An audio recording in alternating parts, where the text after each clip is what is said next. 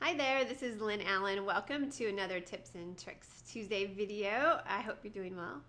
Today, I'm going to be talking about a feature that, actually multiple features that I've been dying to talk to you about. Just wanted to wait until enough of you were up on the AutoCAD release, release 10 in this case, where parametrics were introduced in order to follow along. So I kind of gave away what I was going to talk about. Parametrics. Oh my goodness. So up until now, only our more advanced products like Inventor and Revit have had parametrics in them, but now they're in AutoCAD. They're very powerful and they're actually pretty easy to use. You just need to, to get out there and try them and uh, I'm going to help you figure out how to use them. All right. So taking a look at the screen, I have just a basic floor plan, not, nothing exciting, no, no interior walls or anything like that yet. And I'm gonna go ahead and I'm going to build the garage. All right, so I'm just gonna go in the polyline command and I'm gonna draw just a beautiful garage. Do do do. Okay, so anytime if you wanna hire me to be your designer, let me know, right? Looks pretty bad. I don't know what kind of car is gonna fit in there. So I want to fix my garage and I'm going to do that by using constraints, geometric constraints. I'm going to come up here to the parametric tab and you'll see that there are a variety of constraints over here. Like this one here is for parallel. It will force objects to be parallel or this will force objects to be perpendicular or we can force objects to be concentric. These are a lot like object snaps except that they stay with the geometry and they won't let the geometry change after the fact. Like we have a perpendicular object snap, but after we use it, we can change those lines any way we want to. Not is the case with our constraints. If you want to get rid of the constraints, you have to delete them. All right, otherwise that geometry is always going to stay perpendicular no matter what you do. So let me show you what I'm talking about. Let's start off with parallel. I'm going to select this line here and watch closely and this line here and you will see that now they are both parallel. They have little these little icons here to let you know. They're actually called constraint bars, which sounds like a place where you might get a drink. Um, constraint bars that indicate to you that those two lines are parallel. Now, did you also notice that the line that I selected first, this guy over here, is the one that won the battle as far as who changed to who. I picked this line first, it did not change. The second line became parallel to the first one.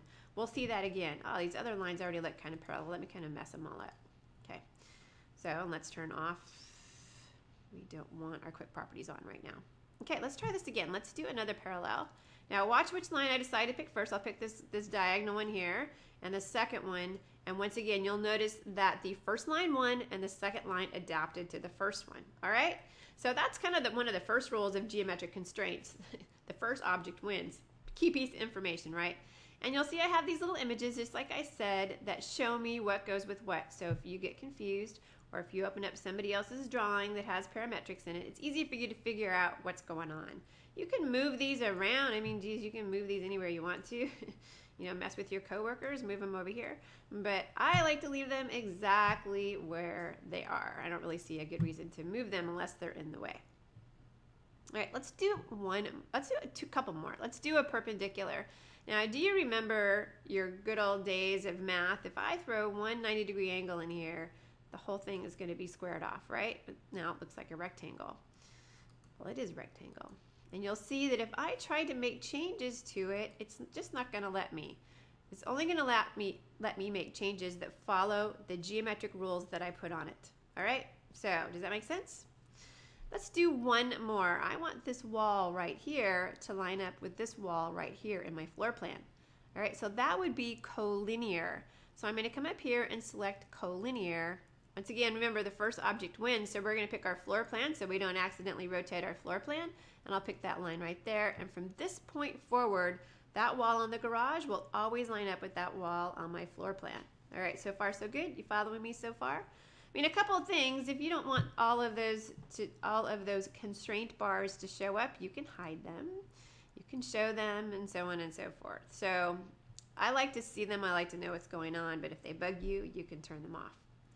All right. So let's take a look at the geometric constraints that we can use. We'll look at most of them.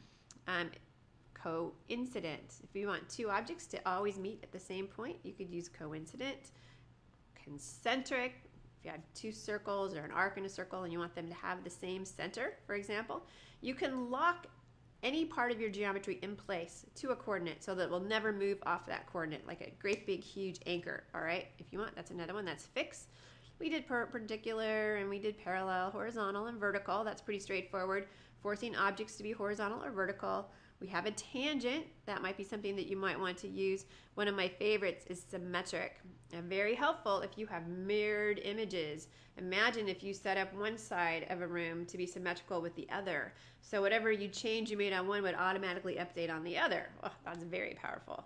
And then equals, that has to do with mostly with distances. Maybe you have a wall that's one length and this other wall should always be the same length. In fact, we might even do that in our little exercise. Okay, so that's just in a nutshell. Remember, these are really short and sweet. So I'm only going to show you one more thing, and then you'll have to, we'll save the rest for later on down the road, okay? Here I have a floor plan. I'm not going to come in here and do perpendicular, perpendicular, parallel, parallel. I am way too lazy for that. I want AutoCAD to do that work for me, and it is actually happy to do that for me if you have existing geometry. So you can use it as your building geometry, or you can use it after the fact. So first off, I'm going to hit this arrow right here and we're going to take a look at some constraint settings because I'm going to ask AutoCAD to put as many geometric constraints on my floor plan as it can find and these are the choices it's going to work with. So you might decide you want some on or some off. It's completely up to you. All right. So I got them all on. I'm going to go for it. All right. So auto constrain. I'm going to just go ahead and I'm going to select my floor plan Go ahead and select it like that. My mouse is just being really nitpicky today. It's not playing along with me at all. I might have to get a new one, which will make me sad because I love it. I'm kind of attached to it. I'm going to hit an enter now. Watch your screen. AutoCAD put as many constraints on there as it could. And remember, it'll, remember, it will show you exactly, come on mouse, you can do it, what goes with what. Oh, that one goes with that, that goes with that. There's an equal one here. What does this equal one go to? Oh, those two lines are equal to each other. We can add another equal in. I could come in here and I could pick this one and I could pick this one. Now watch him. First guy's going to win. This one's going to have to get a little bit longer to accommodate. And did you notice that my garage moved with it at the same time? All right. So I don't want to take too long on these short tips. This is just the tip of the iceberg. But I want you to try to start to work with these parametrics. These are going to make your design smart you're going to put design intent into your drawing files and they're going to get smarter than ever so that when you make modifications to them later down the road, even though I know your designs never change, you will see that the, the original design intent will remain intact and that's really important. All right, try it. You won't get it unless you try it. I'll see you back here in two more weeks with more information on constraints and parametrics. Thank you so much for joining me.